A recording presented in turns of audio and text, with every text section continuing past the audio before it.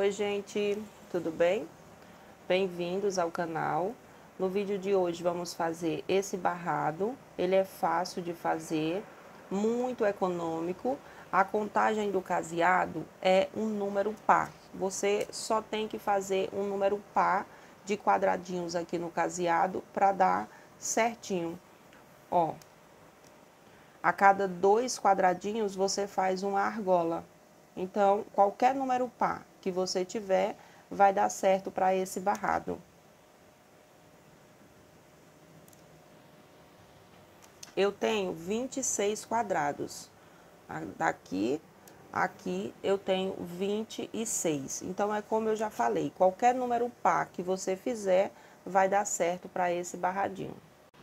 Eu vou usar uma linha de tex 295, a agulha 1,75.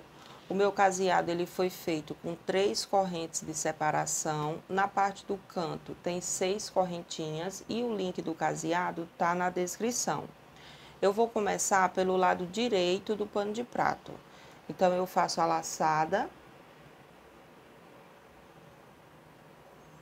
Laçada. Vou entrar aqui, ó, na terceira corrente, contando de baixo para cima. Uma, duas e três. Entro aqui e faço um ponto baixíssimo. Agora, nove correntes. Uma, duas, três, quatro, cinco, seis, sete, oito e nove. Vou pular o primeiro e o segundo quadrado. Entro aqui, ó, no ponto do caseado do segundo quadrado ponto baixo, uma, duas, três, quatro, cinco, seis, sete, oito e nove. Vou pular o primeiro e o segundo. No ponto do caseado do segundo quadrado, eu entro e faço um ponto baixo. Uma, duas, três, quatro, cinco, seis, sete, oito, nove pulo 1 e 2, aqui ó, no ponto do caseado do segundo quadrado, ponto baixo. E aí eu sigo fazendo essas argolinhas de nove correntes, pulando dois quadradinhos, vai ficar assim. Cheguei aqui no final, fiz as nove correntes últimas, Vou contar aqui de baixo, uma, duas e três. Na terceira corrente, eu entro e faço um ponto baixíssimo para finalizar aqui a carreira. Vou virar para o lado avesso. Vou pegar na primeira corrente e fazer um ponto baixíssimo. Na segunda, um ponto baixíssimo. Na terceira, outro baixíssimo na quarta, baixíssimo, e na quinta, outro baixíssimo, dessa forma. Isso é para você sair aqui do centro da argola. Então, como eu tenho nove correntes, a quinta é exatamente o meio, porque fica quatro de um lado, quatro do outro, e a quinta é como eu já falei, é o centro da argolinha. Agora eu faço uma, duas, três, quatro, cinco, seis, sete, oito e nove. Venho aqui na próxima argola, faço um ponto baixo. E aí não precisa ser exatamente na quinta corrente, não, porque ele já fica ó, no lugarzinho. Uma, duas, três, quatro, cinco, seis, sete, oito e nove. Na próxima argola, um ponto baixo uma, duas, três, quatro, cinco, seis, sete, oito e nove. Na próxima argolinha, ponto baixo. E assim você segue até o final. Quando eu chegar ali na última argolinha, eu volto com vocês para a gente finalizar a carreira e fazer a última. Pronto, cheguei aqui no final. Fiz as nove correntes.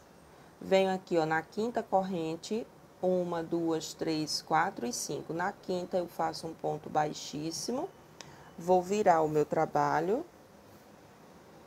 venho na primeira correntinha e faço um ponto baixíssimo, na segunda, um ponto baixíssimo, na terceira, outro baixíssimo, quarta, outro baixíssimo, quinta, outro baixíssimo. Então, eu estou exatamente no centro da argolinha. Vou fazer três correntes, que equivale a um ponto alto, e aqui nessa mesma corrente, que é a quinta, eu faço um ponto alto e dois pontos altos. Faço uma, duas, três, quatro, cinco correntes, entro aqui, ó, na primeira e na segunda laçada desse último ponto que eu fiz e faço um ponto baixo volto aqui dentro da mesma correntinha que é a quinta e vou fazer mais três pontos. Um, dois e três. Agora eu faço uma corrente, faço a laçada e venho aqui na quinta correntinha. Uma, duas, três, quatro e cinco. Na quinta corrente você entra e vai fazer a mesma coisa. Três pontos altos primeiro.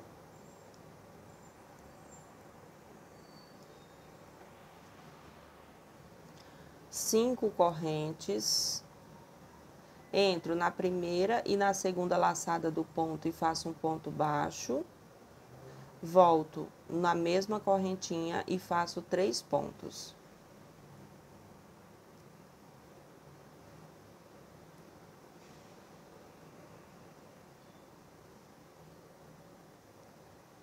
uma corrente laçada. Vou contar mais uma vez. Um, dois, três, quatro. Na quinta corrente, você vai repetir o leque com o ponto picô. E assim você vai trabalhar até o final da sua carreira. Ó, três, quatro, cinco. Entro aqui, ó, na primeira e na segunda laçada do ponto alto e faço um ponto baixo. Volto na mesma correntinha e faço os três pontos altos. Uma corrente e aí dá sequência, ó, fica desse jeito. Uma delicadeza só. Olha só que lindeza, que facílimo, né? Que econômico. E você faz em todas as argolinhas, sempre na quinta corrente. E é isso. Quando chegar ali no finalzinho, eu volto. Cheguei aqui no final, Nesse último leque, eu fiz ó, os três pontos altos, as correntes e dois pontos altos. Agora, eu vou fazer três correntes. Três correntinhas, volto aqui nessa mesma corrente, que é a quinta, e faço um ponto baixíssimo.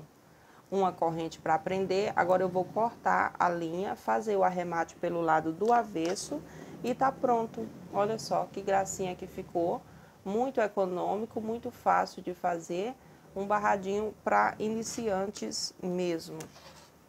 Então, fiquem com Deus e até o nosso próximo vídeo, se Deus quiser.